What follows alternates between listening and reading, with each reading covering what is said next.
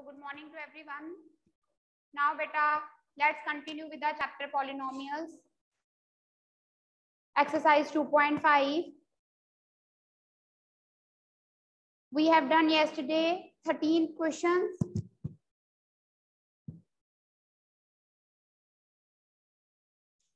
Right?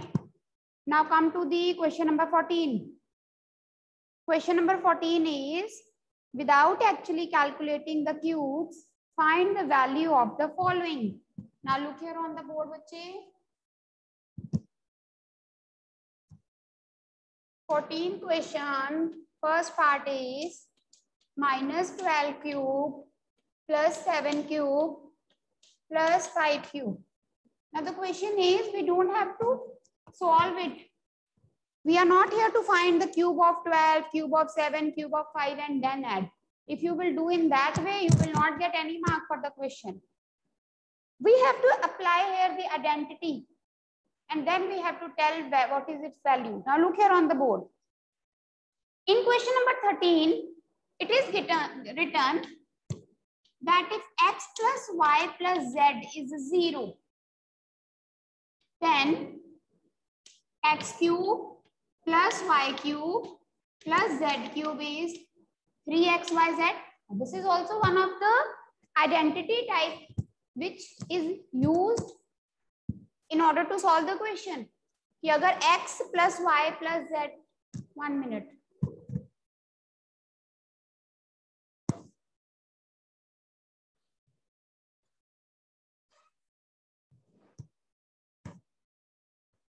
I hope it is visible clearly now. So beta, if x plus y plus z is 0, then x cube plus y cube plus z cube is equal to 3xyz. Now, ये आपका है x, ये y, ये z. आपने देखना है कि क्या x plus y plus z zero है. Now, minus 12 plus 7 plus 5. It is what? Minus 12, 7 plus 5, 12. It is zero. आप ये पहले करोगे माइन ये वाला स्टेप पहले minus twelve plus seven plus five is equal to zero, फिर उसके बाद ये। Using this we can say ये हमने यूज़ किया। So therefore is it clear सबसे पहले ये शो करोगे ज़ीरो फिर ये कि if X plus Y plus Z is zero then it is equal to this this implies minus twelve cube plus seven cube plus five cube ये किसका, किसके बराबर होगा three X Y Z three X Y Z means three into minus twelve into seven into five So we'll solve it and we will get the answer. Note down.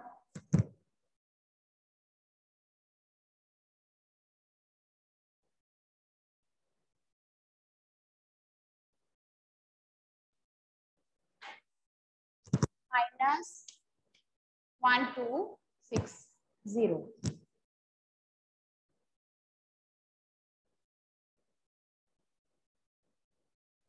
Yes, cover node. Ma'am नीचे clear नहीं आ रहा ma'am ma'am नीचे clear नज़र नहीं आ रहा.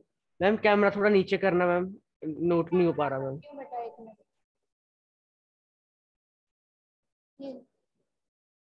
okay ma'am thank you ma'am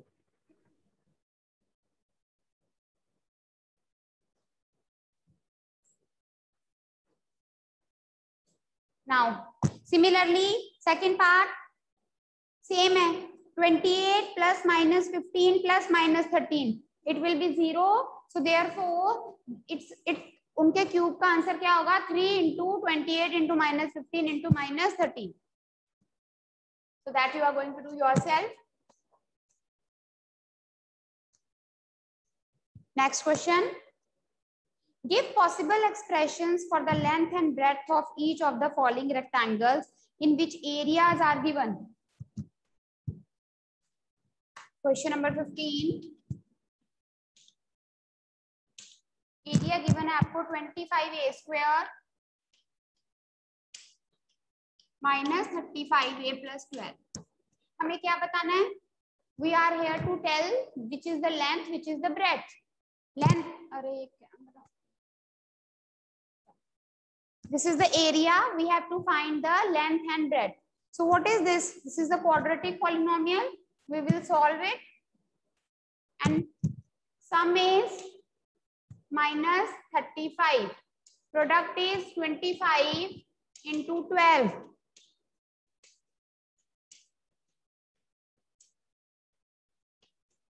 Three hundred is the product, right?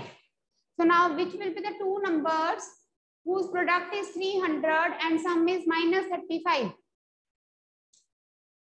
300 से बनाएँगे factors. Five ten are ten one अब देखो, है कोई नंबर ऐसे? Twenty and fifteen no who will tell can anyone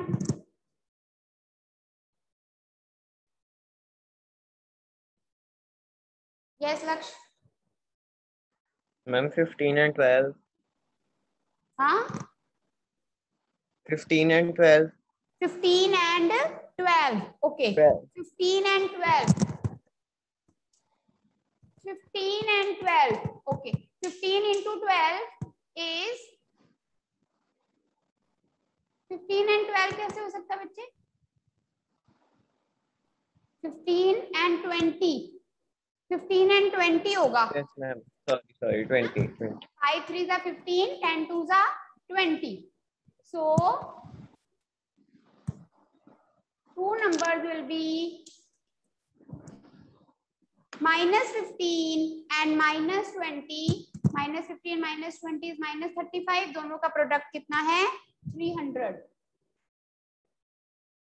अब इसको लिखेंगे 25 a square minus fifteen A, minus twenty A, plus twelve, five common, one A is common, then five five are, five A minus three, यहाँ से क्या common है? Four. Four, five are twenty, four, three are twelve. Five A minus common है तो ये plus minus बन जाएगा। Five A minus three we are four we are left with five A minus three and five A minus four दो binomial हमारे पास आ गए। इनमें से किसी एक को लेंथ लिख दो किसी को भी ब्रेड ज़रूरी नहीं है ये लेंथ ये ब्रेड कोई भी एक length therefore length is five A minus three breadth is five A minus four okay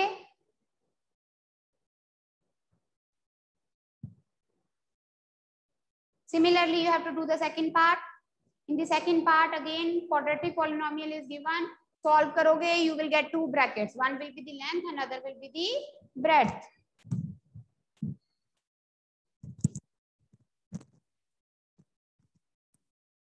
Any doubt?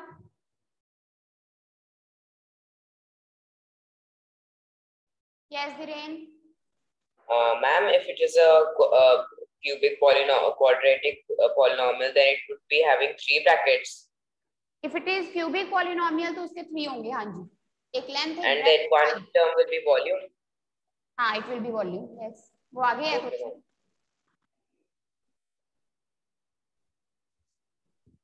ठीक है. नेक्स्ट क्वेश्चन देखो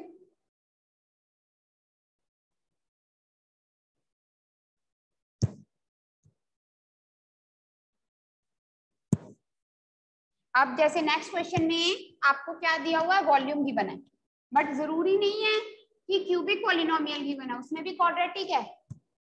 Three X square minus twelve X look on the board and the question is what are the possible expression for finding the dimension of the cuboid volume are given below cuboid का volume क्या होता है? L into B into H late late आते हैं ना बच्चे इतना। जी देखो। पढ़ाना क्या है? एडमिट ही करते रहो बस।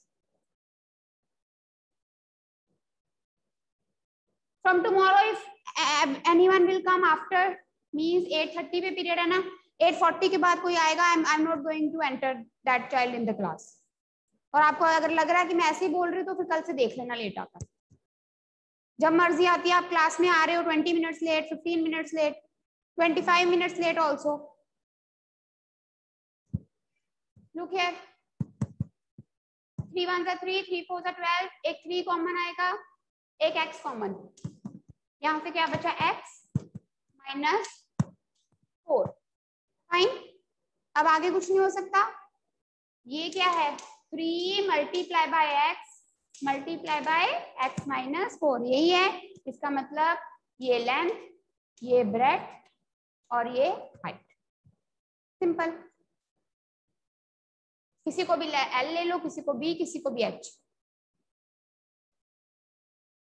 ठीक है बेटे? सेकेंड पार्ट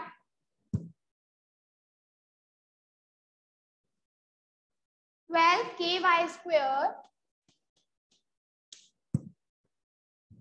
प्लस एट के Y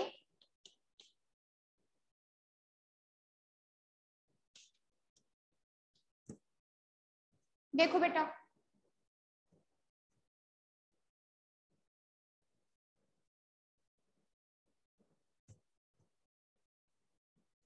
Now in all the three terms we have k. We will take k common. 12y square plus 8y minus 20. अब इसके आगे आप खुद करोगे. Now this is the quadratic polynomial. एक आपके पास आ जाएगा k. एक ब्रैकेट जो k है that will be l. इसमें दो ब्रैकेट आएँगी क्वाड्रेटिक पॉलिनोमियल अभी हमने सॉल्व किया है वी गेट टू ब्रैकेट्स ठीक है? एक होगी ब्रेथ और एक होगी हाइट ठीक है? जो के है that is the third thing with this we have finished our chapter polynomials any doubt to anyone you can ask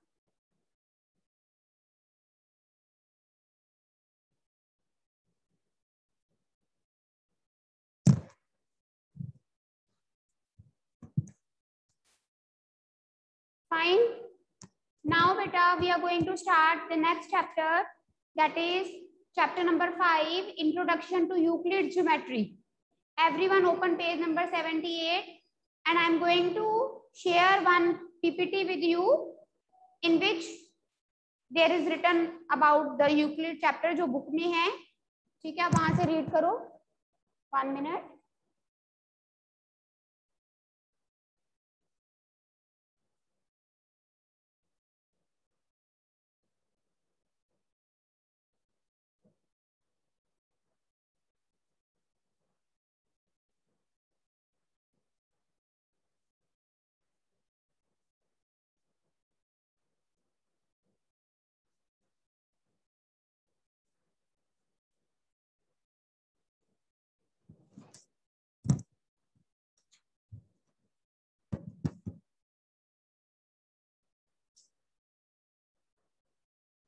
See now.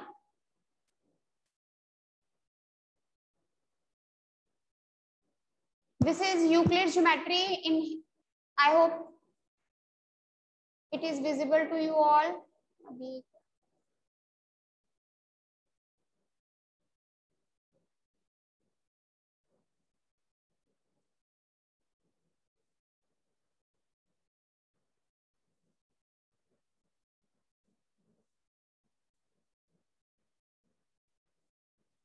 See बच्चे Euclid geometry geometry means geo geo से earth metry into measure this is the general introduction we are not to we are not concerned with this come further here it is euclid has listed 23 definitions these are certain points which you need to know which sometimes are used in our questions and you have done already this in your previous classes. A point is that which has no part. What is a point? A point is dimensionless. उसका कोई part नहीं होता कोई length नहीं होती कोई breadth नहीं होती कोई हाइट नहीं होती a point is dimensionless this also you can write it has no length no breadth no height second point a line is breadth less length A line is breadthless length. Means एक line है, वो sleek सी line होती है, उसकी कोई breadth नहीं होती। Fine next the ends of a line are points the ends of a line अगर कोई लाइन है, वैसे हमें पता है कि line has no end point लेकिन अगर हम किसी लाइन का पार्ट लेते हैं, जिसको हम लाइन सेगमेंट बोलते हैं, अगर किसी लाइन का एंड है तो उसको हम क्या बोलते हैं? Points and that is further known as a line segment okay next a straight line is a line which lies evenly within the points on itself. What does it means we draw so many points. एक सीधी, सीधे सीधे हम कितने सारे points लगा दें।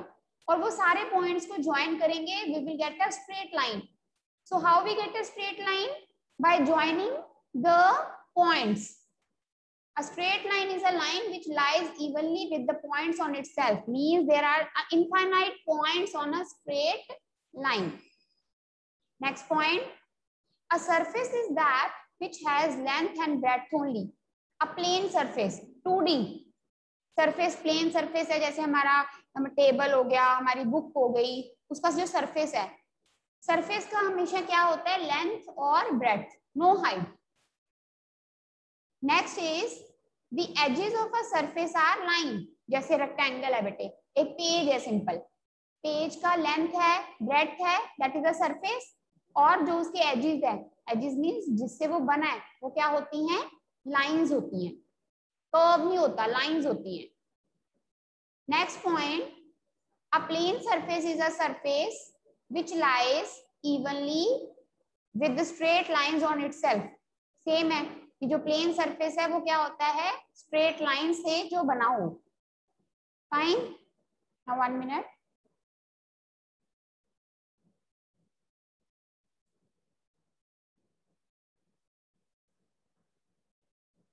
now uh, raise your hand beta was i it, was visible to you clear था कितना?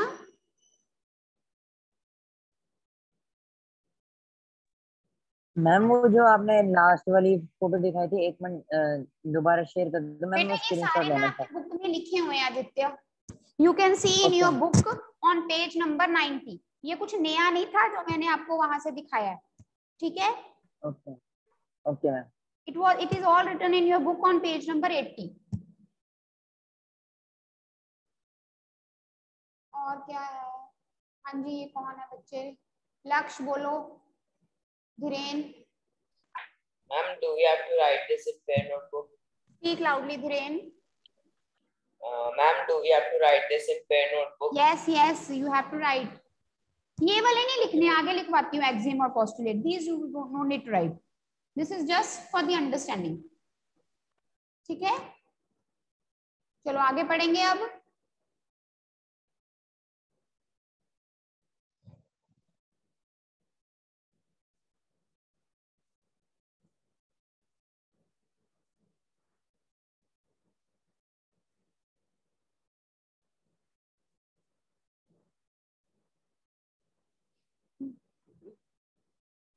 ये देखो, ये क्वेश्चन भी आता है समटाइम्स एग्ज़ाम में। मैं एक मिनट ये पीछे बाद में आएँगे। After these general points, students, in this chapter, what we have we have euclid's axioms and euclid's postulates. हमारे पास क्या है? कुछ Euclid Euclid is a mathematician ठीक है? उसने कुछ एक्सियम्स दिए और कुछ क्या दिए? Postulates these are the two terms now what is the difference between axiom and postulate सबसे पहले ये देखो Euclid assumed certain properties which are actually obvious universal truths and divided them into two types Euclid he observed certain things जो कि universal truth है ठीक है और उसको उसने दो कैटेगरीज में डिवाइड कर दिया एक कैटेगरी बना दी पोस्टुलेट एक बना दी axiom one minute.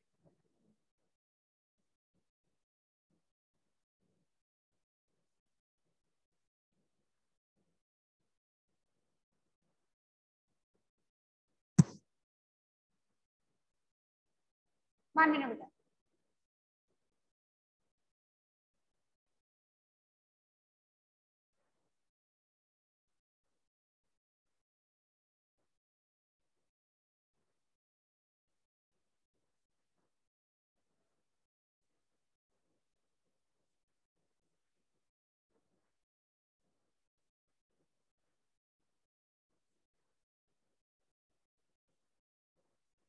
ठीक है?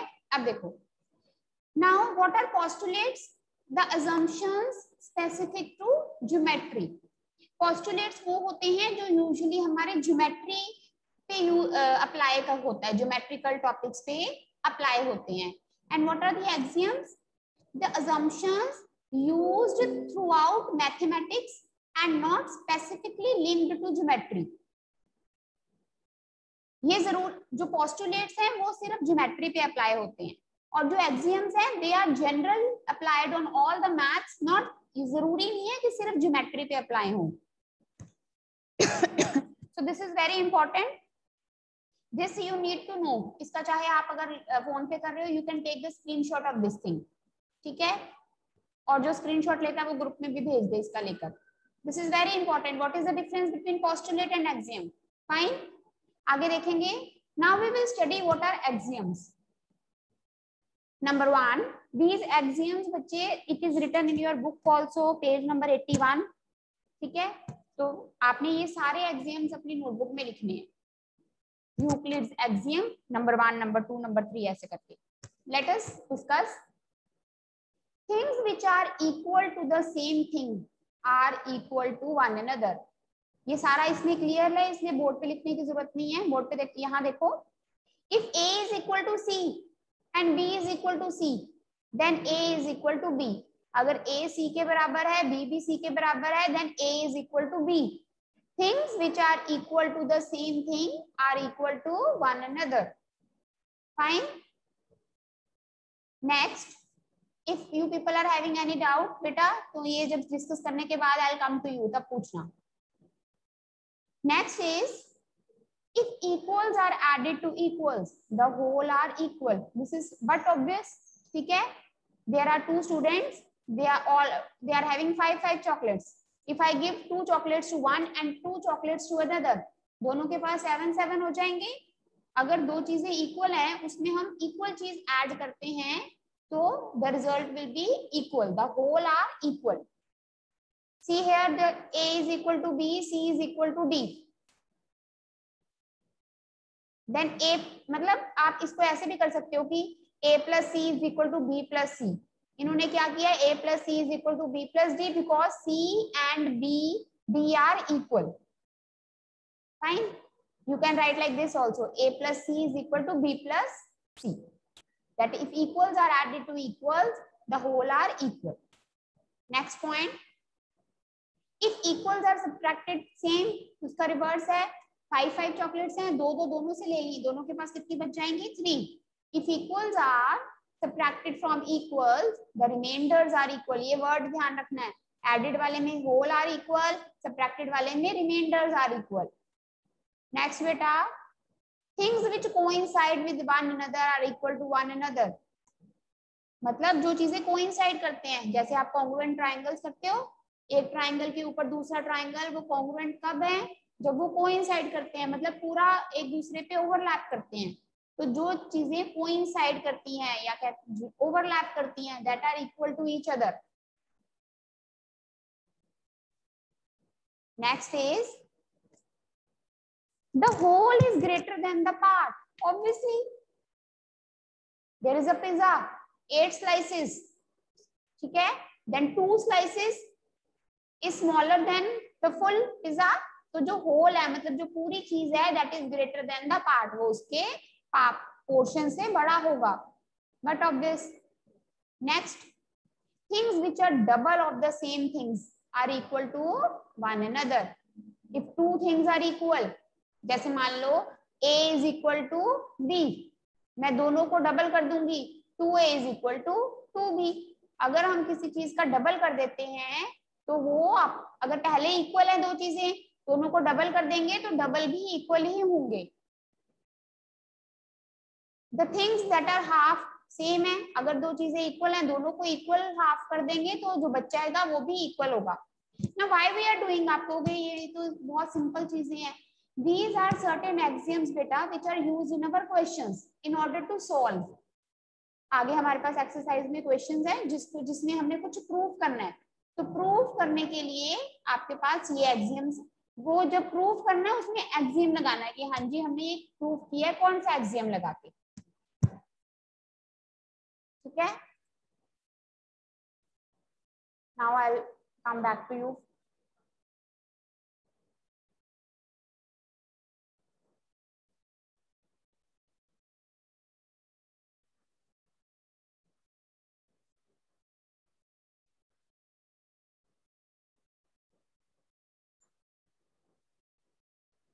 now, axioms we have discussed.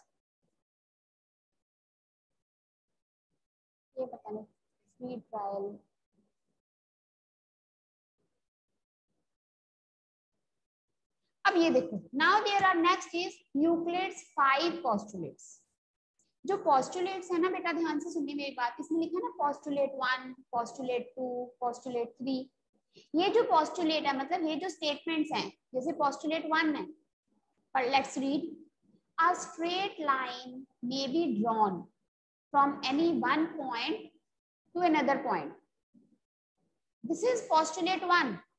Paper में ऐसे आ जाता है कई बार write the postulate one and postulate two so the statement जो पहली स्टेटमेंट है इट इज़ फिक्स्ड मतलब इसको हम पोस्टुलेट वन बोलेंगे सेकंड वाले को postulate two but it is not for the axioms जैसे एक्सियम में आपको लिखा हुआ है one two three four five six वो एक जनरल ऑर्डर है। एक्सियम का कोई पर्टिकुलर नंबर नहीं है। कोई भी एक्सियम ऊपर लिख सकते हैं, कोई भी एक्सियम नीचे। एक्सियम अगर आपने मेंशन करना है you have to write full axiom postulate अगर आपसे पूछा जाए एमसीक्यू में, a straight line may be drawn from any one point to another point, which is this postulate? One, two, three, four so, for that, you should know कि ये हमारा postulate one है। I hope you, you are getting. So what is the postulate one? A straight line may be drawn from any one point to another point. ठीक है ये जो एक line है वो एक पॉइंट से दूसरे पॉइंट तक बन, बन, बनती है ऐसे ही जो आपके पास एक्सियम गिवन है ना बुक में एक और एक्सियम है पेज नंबर 82 पे अगर आप देख सकते हैं axiom 5.1 Given two distinct points, there is unique line that passes through them. It is related to postulate one. इसमें आपने कुछ टेंशन नहीं लेनी कुछ कंफ्यूजन वाला नहीं है। सिर्फ़ आपने क्या करना है एक्सियम्स लर्न करने हैं और पोस्टुलेट्स लर्न करने हैं। ठीक है? बाकी कुछ कंफ्यूजन नहीं है इसमें। एक दूसरे के साथ लिंक्ड है और ये चीज़ें बहुत सिंपल है कि एक स्ट्रेट लाइन है वो एक पॉइंट से दूसरे पॉइंट तक बनती है। ठीक है? Next postulate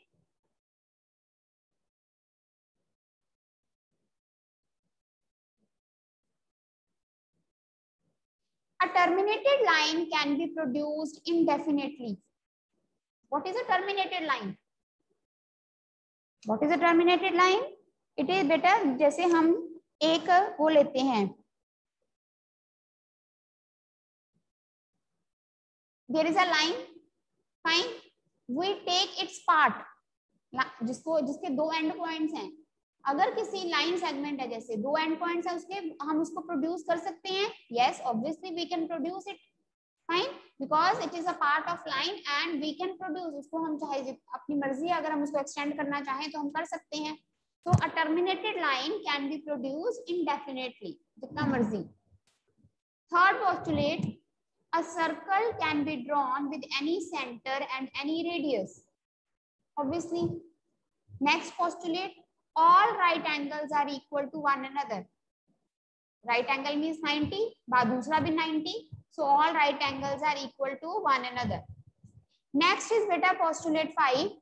ठीक है Now as the time is about to over, so आपको बस इतना बताऊँगी ये पोस्टुलेट सारे एक्सियम्स और सारे पोस्टुलेट्स आप अपनी नोटबुक में लिख लेना postulate five I will explain tomorrow